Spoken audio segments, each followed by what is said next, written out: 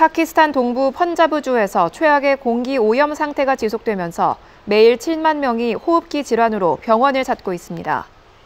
당국은 국립병원에서 치료받은 환자 수가 210만 명을 넘어섰다며 환자 수는 계속 늘어날 거라고 말했습니다.